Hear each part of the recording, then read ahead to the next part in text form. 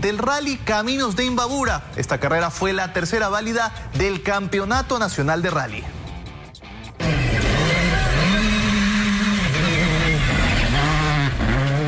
112 pilotos de 56 equipos participaron en la carrera Caminos de Imbabura, que además era la tercera fecha del Campeonato Nacional de Rally. El recorrido de 197 kilómetros fue dividido en siete tramos de velocidad. El trazado exigió al máximo a los conductores que mostraron su habilidad tanto en rectas como en curvas.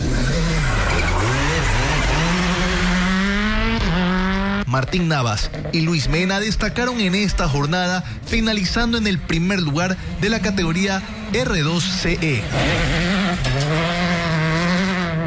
La dupla Navas-Mena registró un tiempo acumulado de una hora, dos minutos y 39 segundos, lo que les permitió ubicarse en lo más alto de la clasificación general.